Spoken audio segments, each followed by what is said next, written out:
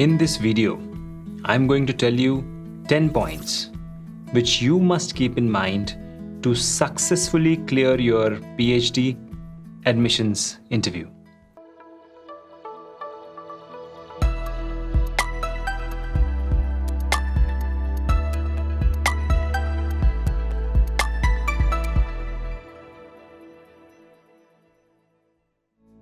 Hello everyone, my name is Shekhar, CEO and Managing Director at Biotecnika, and today I'm going to tell you the toughest part of CSIRNet. No, it's not the exam part. But once you've qualified for the exam, you must go to attend the interviews at various institutes across the globe, across the country at least. Now, that day when you have to go out to give the interview, that intense moment, combined with the uncertainty of what might happen next, leads to a lot of anxiety, lot of dilemmas, and a lot of nervousness in the mind. Am I right? Now, sadly, there are no articles or videos on the internet to help you on this topic. Once you've qualified CSIRNet, you are on your own. So, our experts at Biotecnika decided to come out with this video, and we have combined a set of 10 pointers to help you pass through this difficult phase so that next time when you sit for a PhD interview, you ace it. Now, even before I tell you these 10 pointers, you must know something very, very important. You must check on your PhD notifications and scholarships available in various institutes. Familiarize yourself with the current scholarships, admission notifications in your field. Many students I have seen who get CSIRNet lecturership fail to check on this and they then they end up self-funding their phd so whenever you apply for a phd notification phd admission notification then always check for the phd funding terms and conditions now, having said that, now let's get started with 10 points on how to successfully deliver or clear or crack your PhD admissions interview. Number one, start with why. Now, when you attend any interview, they are definitely going to ask you why you want to do this PhD in this particular topic. What is the reason behind it? To answer this question, you have to be thorough with uh, about your PhD uh, research proposal or the statement of purpose.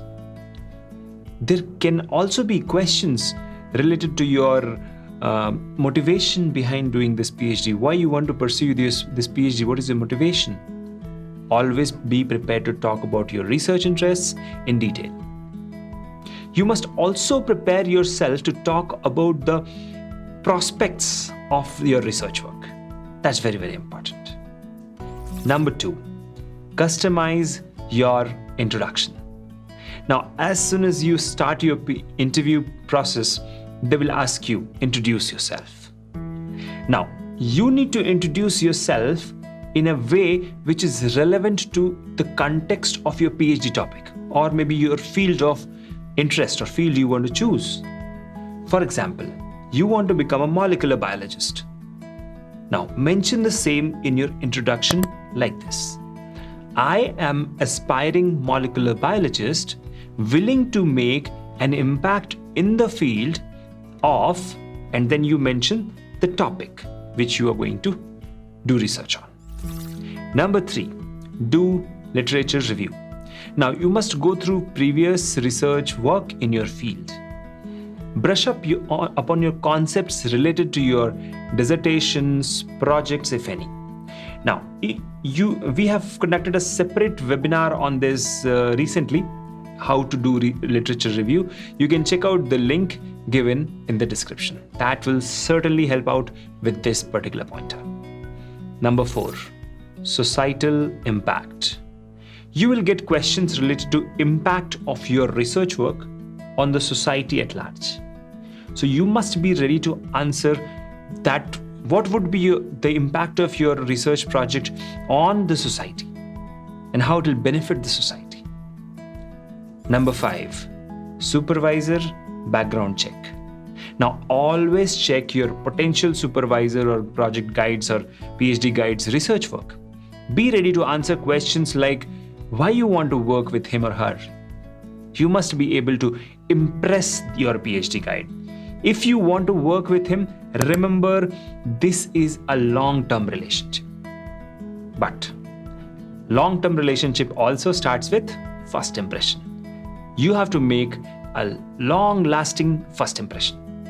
Then only you will get selected. Number six, get certified, get ahead. Now, just qualifying your CSIR net exam is not enough.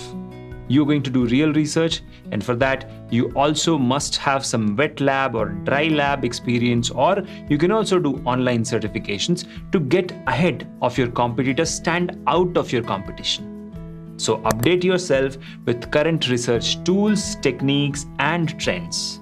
That's very important. Now, for your convenience, Biotecnika offers a wide array of self learning online certification courses. Now, do check out the link given in the description, which I have mentioned there, all the details of all the various fields in which we have online certification.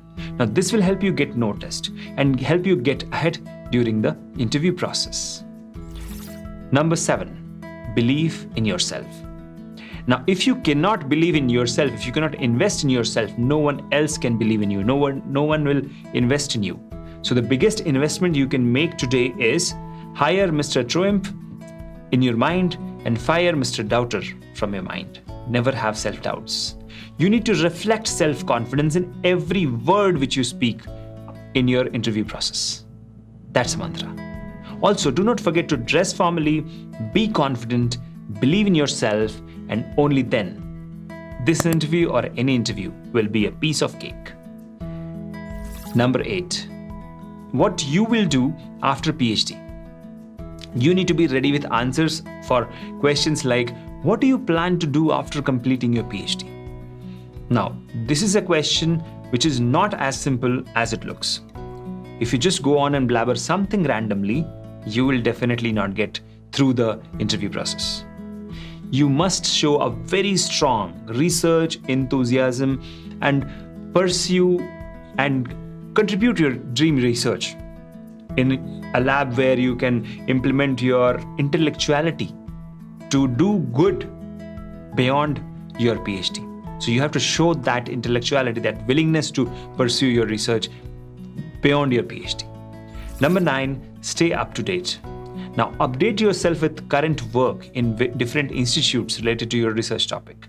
Also, keep a check on various notifications that come out from various institutes across India. The best way to do that is by subscribing to Biotecnika's daily newsletter, popularly known as Biotecnika Times. And you can also download our app, Biotecnika official app. The link is given in the description. This way, you will keep yourself up to date with latest news and opportunities and jobs and admission alerts from various organizations and institutes. Go ahead and do that. Number 10, keep regular questions answers ready or handy. Now be ready to answer some typical questions like, okay, identify your strength and weaknesses, why you have uh, why have you chosen uh, to study phd in at a particular university or why did you pursue your research in this? Why did you do your dissertation in this particular topic? What is the biggest challenge you foresee in your phd research work? Okay so these are the things you must be ready with also, a bonus tip I can give you today is in case you do not know the answer to any question, politely say, Sorry, sir, I uh, do not know. Okay, politely decline. Never ever blabber something aimlessly. That's very, very important. So, these were 10 points I gave you just now to help you qualify successfully for your PhD admissions interview.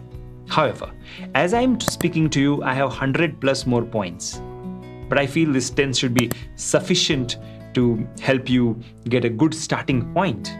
But I know you have questions, so if you have any questions, specific questions, go ahead, put it in the comment section below, and our experts would love to answer them as soon as possible.